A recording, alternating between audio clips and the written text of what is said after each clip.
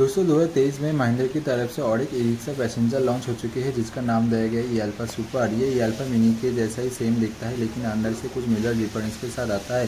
जो major difference है, उसका जो बैटरी और इसका जो पावर है, वो इंक्रीज़ कर दिया गया है। इससे ये और भी डिटेल्स जानने के लिए अल्फ़ा सुपर के बारे में मैं डिस्क्रिप्शन बॉक्स में या फिर इस वाले चैनल में फुल रिव्यू वीडियो के लिंक दिया गया है, जगह चेक कर सकते हैं।